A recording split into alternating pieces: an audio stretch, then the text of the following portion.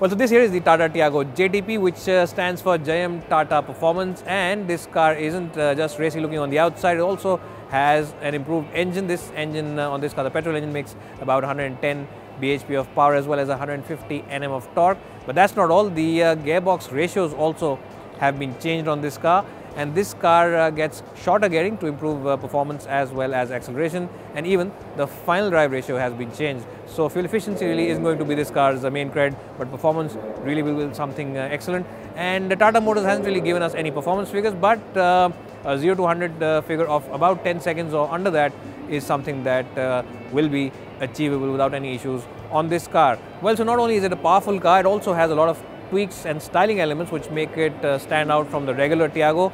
The uh, biggest change of course is the fact that you now get projector lamps in this uh, version. You also get this uh, plastic opening over here which is essentially for engine cooling and uh, this air which goes over here comes out from this side fender over here. You also get a new set of uh, alloy wheels which really look cool and sporty and of course some other minor tweaks to the exteriors but the bigger changes have been reserved for the interiors and let's see what those changes are now.